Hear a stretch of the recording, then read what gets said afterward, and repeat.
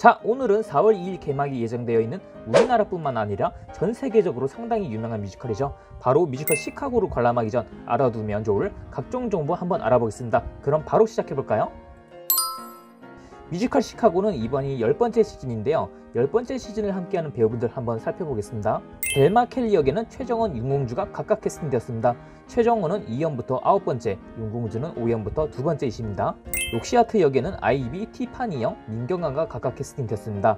아이비는 5연부터 5번째, 티파니 영과 민경아는 이번이 처음이십니다 빌리 플린 역에는 박건형, 최재림이 각각 캐스팅되었습니다. 두 분 다 이번이 처음이십니다. 마마모튼 역에는 김영주, 김경선이 각각 캐스팅되었습니다. 김영주는 구연 이 후 두 번째, 김경선은 재연 이 후 아홉 번째이십니다. 캐스팅을 쭉 둘러보면 짚어볼 게 너무 많은데요. 우선 최정원 배우님 2000년 초연부터 한 시즌도 빠짐없이 무려 20년 동안 10시즌 연속 출연하고 계시는데요. 참고로 초연은 록시 하트로 출연하셨습니다. 뮤지컬 시카고의 역사 그 자체시자 벨마 켈리 장인이시죠. 참고로 최정원 벨마 켈리와 함께 김경선 마마모튼도 역시 무려 9시즌 연속 출연 중이십니다. 그리고 벨마 켈리의 더블 캐스팅으로 윤공주 배우님이 캐스팅되셨는데요. 이번이 무려 9년 만에 돌아오시는 거라서 역시 주목해볼 만한 상황입니다. 그리고 역시 록시 하트 장인 아이비 배우님 아이비 배우님 같은 경우는 뮤지컬 시카고 라이센스 공연 역사상 중반 이후부터 투입되셨는데요.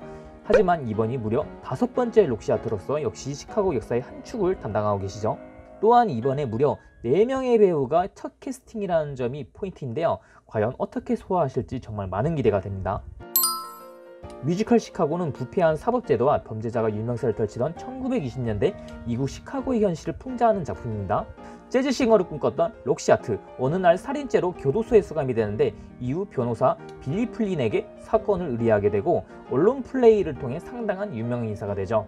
그리고 또 한 명의 주인공인 벨마 켈리 최고의 인기 스타였던 그녀 역시 살인죄로 교도소에 수감 중인데요. 사실 벨마 켈리가 록시 하트보다 빌리 플린을 통해 먼저 언론 플레이를 하고 있었는데 록시 하트로 인해 자신의 관심이 점점 잊혀지게 되죠. 이렇게 펼쳐지는 이야기로 느낌이 오시겠지만 스토리가 좀 셉니다. 관람하시기 전에 참고 바랄게요 지금부터 추천 넘버 알려드릴 테니까 만약 이번이 첫 관람이시라면 꼭 한 번쯤은 검색해보고 듣고 가시는 걸 추천드릴게요. 특히 이 작품은 넘버에서 호불호가 좀 갈릴 수 있거든요.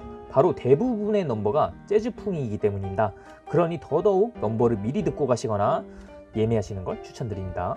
처음으로는 All That Jazz 이 작품의 첫 번째 넘버이자 벨마 켈리의 메인 넘버입니다. 그리고 이 작품의 메인 넘버이기도 합니다. 들어보시면 아 이 노래 어디서 많이 들어봤는데 아마 그러실 거예요. 거의 초필살기급 넘버인데 작품 제일 처음에 나와서 관객들의 집중을 한 번에 팍 집중시키는 그런 넘버입니다. 다음은 All I Care About입니다. 이 넘버는 빌리 플린의 메인 넘버입니다. 빌리 플린의 캐릭터를 알 수 있는 넘버이기도 하죠. 다음은 We Both Reached for the Gun입니다. 이 넘버는 재미있게도 스토리 특성상 빌리 플린의 복화술로 연출된다는 게 특징인데요. 그리고 후반부가 아주 흥겨운 넘버이기도 하죠. 다음으로는 Roxie입니다. 록시 하트의 메인 넘버이기도 하죠. 이 넘버 역시 록시 하트가 어떤 캐릭터인지 알 수 있는 그런 넘버입니다. 뮤지컬 시카고는 넘버 하나하나가 정말 상당히 강력한데요. 그래서 소개해드릴 넘버가 상당히 많은데 나머지는 좀 리뷰 시간 때에 좀더 자세히 한번 이야기해 보겠습니다.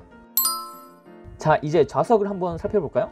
극장은 디큐브 아트센터인데요. 참고로 이 극장은 단차와 시야가 상당히 좋기로 유명합니다. 그래서 사실 좌석 리뷰를 하기가 좀 애매하긴 한데요.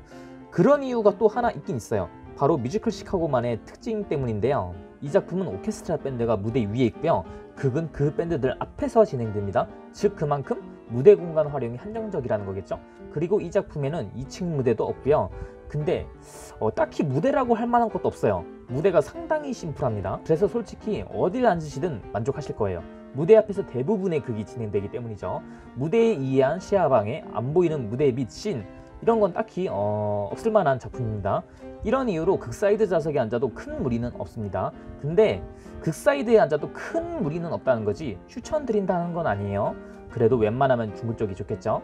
그리고 지금 제가 영상 쭉 띄워드리고 있죠? 지금 보시는 영상들 참고해서 티켓팅 하시길 바라겠습니다. 뮤지컬 시카고는 화려한 무대와 조명이라 할 만한 게 딱히 없고 technical한 무대 장치도 없고 그렇다고 고음 막 작살나는 그런 넘버도 없습니다. 오직 배우, 넘버, 연출, 퍼포먼스가 하드 캐리하는 작품입니다. 거기다 스토리도 상당히 집중하게끔 만들고요. 중간중간 웃음 터지는 요소들도 많고요. 이 점들이 앞에 나열한 요소들을 커버하고도 남습니다. 20년 동안 롱런한 작품에는 그만큼의 이유가 있는 법이겠죠. 뮤지컬 시카고는 4월 2일부터 7월 18일까지 디큐브 아트센터에서 공연되고요. 이번 1차 티켓 오픈 일정 참고 바라겠습니다. 그리고 프리뷰 할인과 조기 예매 할인도 있으니 참고 바라겠습니다. 그럼 지금까지 뮤지컬 시카고 프리뷰였고요. 원하시는 회차 및 자리 티켓팅 성공하시길 바라겠습니다. 다음에 다른 영상으로 찾아오겠습니다. 다음에 만나요.